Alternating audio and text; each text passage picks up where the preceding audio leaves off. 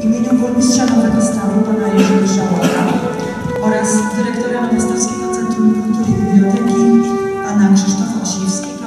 Witam wszystkich Państwa bardzo serdecznie na wyjątkowym koncercie kwartetu fletowego Mati Miga ze Szwecji. 20 czerwca w Galerii Żurawskiej w Nowym Stawie wystąpił kwartet fletowy ze Szwecji.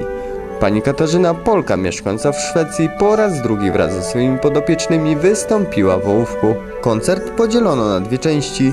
Pierwsza składała się z utworów klasycznych, część druga to najbardziej znane utwory muzyki filmowej. Cały koncert cieszył się dużym zainteresowaniem, a kwartet już szykuje kolejne aranżacje, aby po raz trzeci wystąpić w Nowym Stawie. Zapraszamy Państwa na wysłuchanie fragmentu z tego nietypowego koncertu.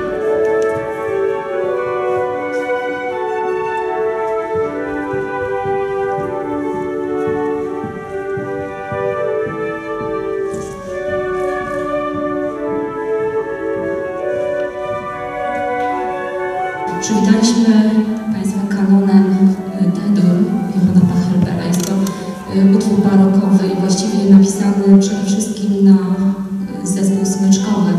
Mm, Większość utworów, które będziemy prezentować są to transkrypcje na kwartet fletowy. Także zaczęliśmy barokiem i przechodzimy do klasycyzmu. Wolfgang Amadeusz Mozart, Eine kleine Nachtmusik. Z, tego, z tej pięknej ser, serenady y,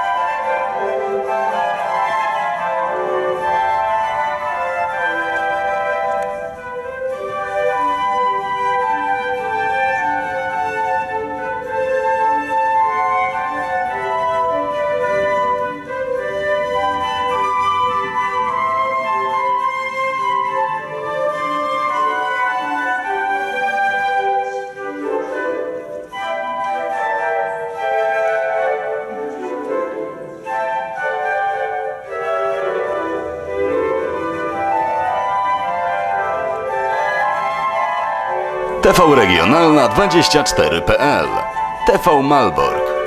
TV Sztum. Żuławy i Mierzeja 24.pl To my tu kręcimy.